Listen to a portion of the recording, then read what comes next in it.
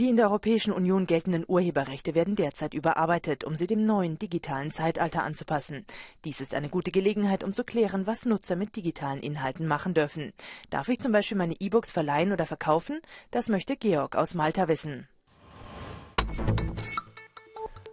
Im Gegensatz zu herkömmlichen Büchern dürfen Verbraucher ihre E-Books nicht weiterverkaufen.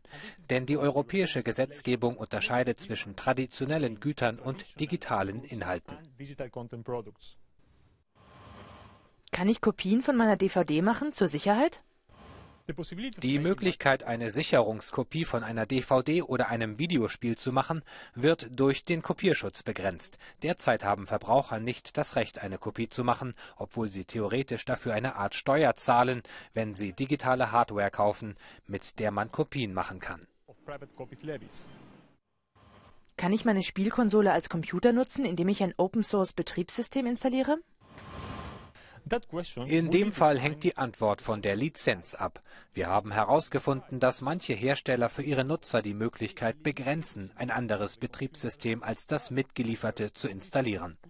Manche Klauseln sind sogar noch ungerechter und erlauben es dem Hersteller aus der Ferne ein Betriebssystem, das nicht mit der Spielkonsole kam, zu löschen.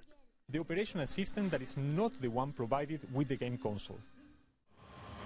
Kann ich ein Lied neu abmischen und es dann hochladen und es in den sozialen Netzwerken mit meinen Freunden teilen?